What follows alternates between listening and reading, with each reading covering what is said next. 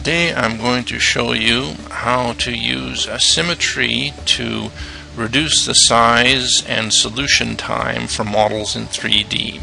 I'm going to use an example of a solenoid with an oval plunger as you're seeing on the screen here and uh, I'm showing the full solenoid with one quarter of it shown in a wireframe view and in fact the part that's shown in wireframe is the geometry that we'll use for our symmetric model. So the first thing to remember when you're using symmetry or anti-symmetry is that the geometry must have positive coordinates. It must be on the positive half side of the space created by the symmetry cutting plane. Now, in order to decide whether you have symmetry or anti-symmetry, always consider the currents, or in the case of permanent magnets, equivalent currents.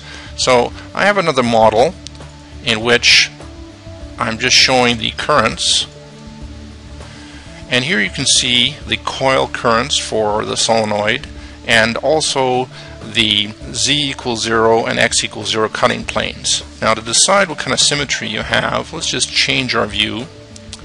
So now you can see from the top, we're looking down and we can see the x and z cutting planes. So across x equals 0, the x equals 0 cutting plane is here.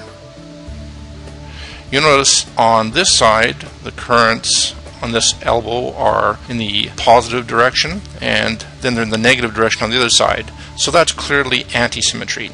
And similarly, if we consider the z equals 0 cutting plane, well, above the cutting plane, they're heading in the negative direction, and below they're heading the positive direction. So in both cases, you have anti-symmetry.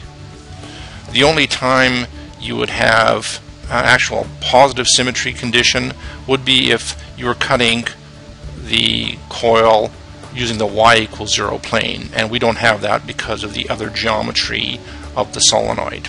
So now that we know what type of symmetry we have, we can reduce our model, and you may build this model uh, so that there's only one quarter of it. If you're importing from a CAD file, you can use the geometry intersection and cut geometry with plane to reduce the size of your model. So to set up the symmetry conditions, we go to Physics, Symmetry and Periodicity. We choose Symmetric Boundary, and as we've decided, it's going to be anti-symmetric across the x equals 0 plane and anti-symmetric across the z equals 0 plane.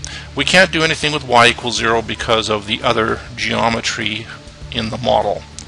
And once we've set that up, you'll notice that any surfaces that are exactly coincident with the cutting planes, those will be assigned the symmetric boundary conditions.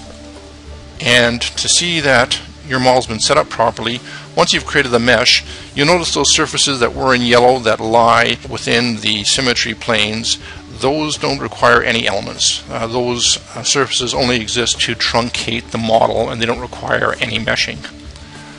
So if you can uh, take advantage of symmetry in your models, in this case this model solves in only one-sixth the time of a full model. So there's a significant advantage in the solution time and also in calculating post-processing.